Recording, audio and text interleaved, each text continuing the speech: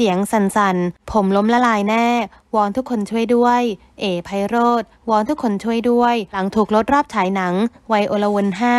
เป็นประเด็นที่หลายคนเริ่มพูดถึง เมื่อนักแสดงรุ่นใหญ่อย่าง เอ๋ ไพโรจน์ สังวริบุตร ผู้กำกับคนดัง ได้ออกมาโพสต์คลิปทางช่อง TikTok ขอร้องให้ทุกคน ไปดูภาพยนตร์ของตน อย่างวัยอลวนห้าพร้อมเผยว่า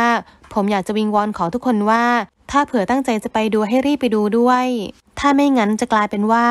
ปิดโรงให้ดูแล้วก็ไม่มีคนดู อีกอย่างหนึ่ง ถ้าเช็คแล้วไม่มีโรง ช่วยแจ้งมาทางผมหน่อย ผมก็จะได้รวมเรื่อง แล้วร้องขอไปกับทางโรงหนัง ถ้าคุณบอกไปโดยตรงได้ยิ่งดี เพราะว่าเสียงของผมเล็กมาก แต่เสียงของทุกคนคือเสียงที่ยิ่งใหญ่ เขาจะไม่ฟังผม แต่เขาจะฟังคุณ หนังเรื่องนี้ตนตั้งใจทำมากทำอย่างพิถีพิถัน ลงทุนสูง เพราะฉะนั้นจึงอยากกราบวิงวอน คนที่ได้ดูแล้ว ช่วยเขียนคอมเมนต์ตนว่า หนังดีเลวอย่างไรบอกมาตามตรงได้เลย คำตัดสินใจของผู้ชมเท่านั้น คือสิ่งที่โรงหนังจะฟัง ไม่อย่างนั้นตนล้มละลายแน่ หลังจากที่คลิปดังกล่าวถูกแชร์ไปยังโลกโซเชียล ทางผู้ใช้ Facebook ภวายุทธอเล็กก็ได้ออกมาวิเคราะห์ถึงสาเหตุที่ไม่มีใครไปชม โดยบางช่วงในข้อความผู้ใช้ Facebook รายนี้ ยังบอกด้วยว่า ต้องมาถามว่าทำไมคนไม่ดูหนังไทยมากกว่า ผมว่ามีคนดูหนังไทยนะ แต่รสนิยมคนดูต่างกัน คนดูจ่ายเงินเท่ากัน เลือกระหว่างอวตารกับไวอลวน หรือแม้แต่หนังเกาหลี ที่ผมจัดจำหน่ายอย่าง อัพกูจอง คุณคิดว่า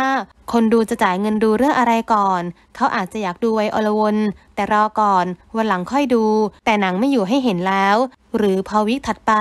หนังใหม่ที่น่าสนใจกว่าก็มาใหม่อีก อาทิตย์ละ 6-8 เรื่องกันเลย หรือหนังคนออกไปแล้วพราะไม่ทำเงิน สุดท้ายต้องถามว่าก่อนทำหนัง ถามตัวเองครับ ใครจะมาดู